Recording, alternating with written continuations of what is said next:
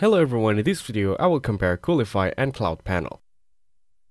When comparing Coolify and Cloud Panel, both are powerful self-hosted cloud management platform but they cater to different needs and offer unique features.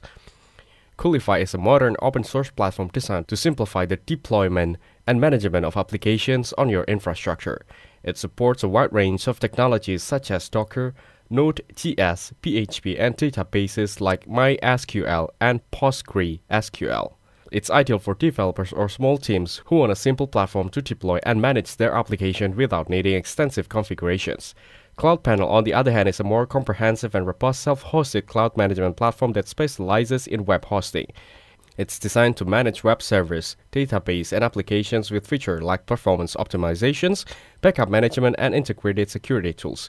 In my opinion, Coolify is a better choice for users or developers looking for a simple and flexible platform to deploy and manage applications quickly without the complexity of traditional cloud platforms.